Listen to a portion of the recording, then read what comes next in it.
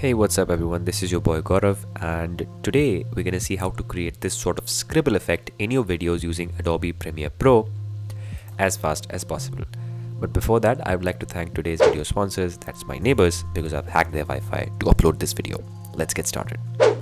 So first thing first you have to import the video into your timeline as I've done here. Let me show you the video. This girl is trying to do a cartwheel which she does like that okay so we're gonna create a scribble effect on her feet.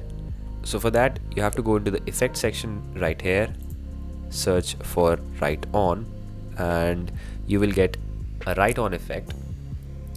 In the video effects section under the generate section you have to drag it onto your video like that and you will get a Write-on section in the effects control panel here and just to make sure we are in the effects section right now.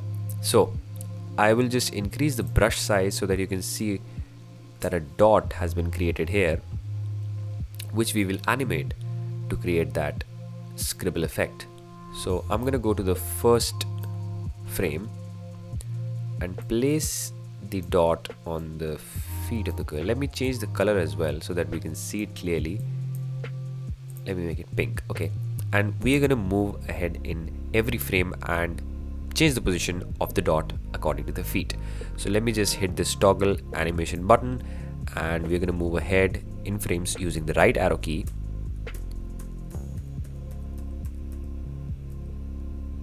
Okay. I'm going to change the position like that. Okay. Right arrow key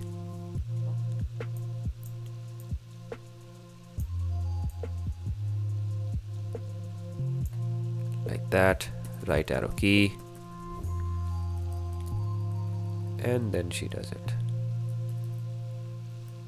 So it's a really long time after which she does it. Okay so I'm gonna change the position a little more like that right arrow key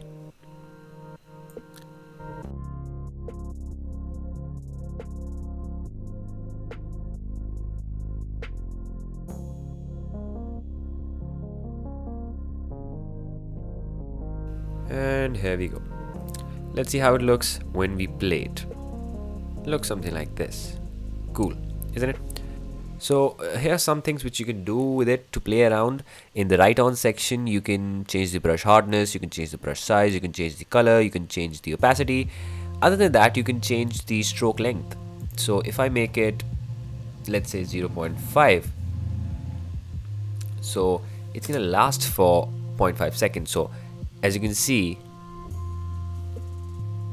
as soon as it is being created it is being destroyed as well. So every dot is lasting for 0.5 seconds. That's what's happening here right? You can reduce it you can increase it according to your need. You can change the brush spacing. Right now you can see it's 0.01 so the dots have some space between them. If i make it zero that is really less. So you will not be able to see any difference between the dots right? Every dot is sort of very near to each other.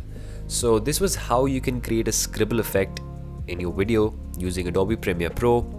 This was a, a pretty fast tutorial to get you started with this effect and you can use it any way you like in your videos. If you like the video, do hit the like button and don't forget to subscribe for more such videos coming really soon. Thanks for watching. Bye-bye.